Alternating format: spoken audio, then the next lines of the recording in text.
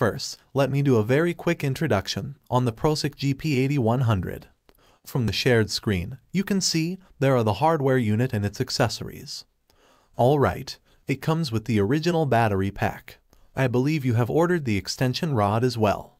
And in the package, there is our marker paper. Of course, you should have the marking chalk. In fact, I want to bring your awareness that the GP8100 can also be powered up by a power bank. So basically, you can see the equipment is now powered up and connecting with this power bank. The button is also on. The blue color lights, there's a Type-C connector over here at the bottom.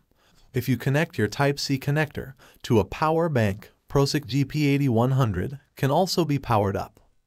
This makes it very handy and useful when you're at sites, and then the battery starts to fail or the battery runs out. So I just wanted to show you how we can be connected to a power bank.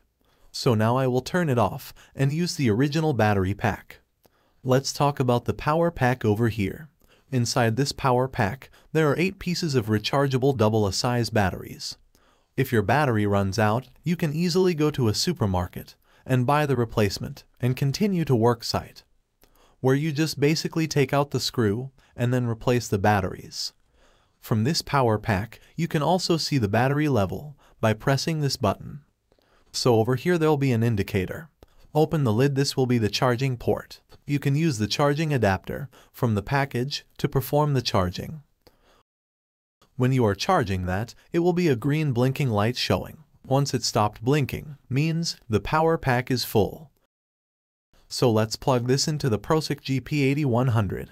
Now done, press the power button the instrument will be turned on. While the GP8100 is powering up, I also want to share with you how to fix the extension rod.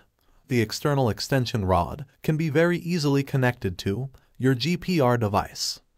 No external tools are requested.